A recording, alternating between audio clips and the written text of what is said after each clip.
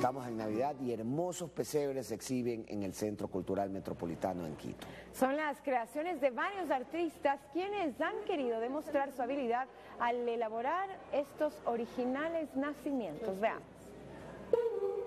Varios personajes tradicionales de Quito decoran el pesebre ganador del concurso municipal Una Navidad de Colores 2015, una obra de arte que lleva muchos materiales reciclados. Gerardo Luguaña, morador de Nayón, es el ganador. El pesebre está inspirado en la ciudad capital. La iglesia que representa la Catedral de Guápulo es espuma flex, recubierta de yeso, muy llamativo. Parece que es hermoso, eh, representa mucho sobre la cultura de, pues de, de Quito.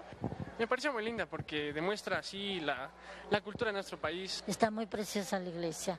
Me llamó bastante la atención eso. Pesebres modernos, se ven alternativas eh, típicas. Los pesebres que quedaron en el puesto 2 y 3 tienen una mezcla de reciclaje con repuestos de vehículos, tornillos, monedas, latas y accesorios de computadoras, hasta piezas de cámaras fotográficas. Pero yo dije, voy, yo voy a cambiar el esquema tradicional y me dediqué a hacer los robots hace un año. Me parece muy lindo, hermoso. Le felicito al señor. Este concurso se viene realizando alrededor de 10 años atrás, organizado por el municipio. Aquí la creatividad es uno de los factores importantes donde la ciudadanía de cualquier lado en esta ocasión podía participar con su Belén. La idea es su propia mirada sobre cómo debería ser un pesebre. Los premios fueron otorgados por la empresa turística privada, como son viajes a Galápagos y a la Amazonía. La exposición de los pesebres estará abierta hasta el 17 de enero en el Centro Cultural Metropolitano. Estefanía Montes de Oca, Gama Noticias.